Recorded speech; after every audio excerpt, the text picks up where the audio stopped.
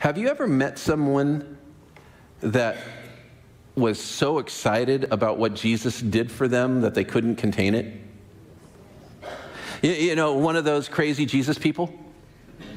Like, you'll never believe what Jesus did for me, right? You'll never believe what Jesus, oh, God did something big in my life this week. Please don't, right?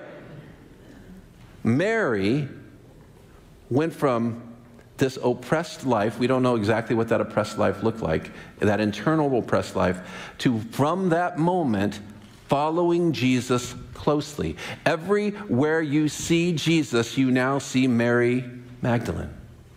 She becomes part of the inner circle of disciples. And here's the thing here's the lie, here's the mistruth, here's the misunderstanding of history.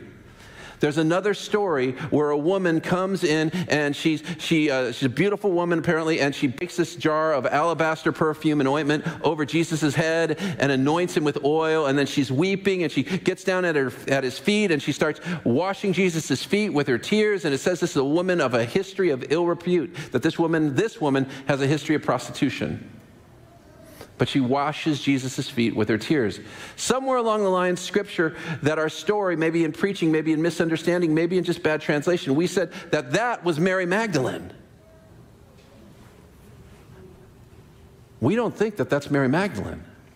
Scripture doesn't say that that's Mary Magdalene. Imagine for hundreds, if not thousands of years, the church thinking, oh, yeah, you were a prostitute.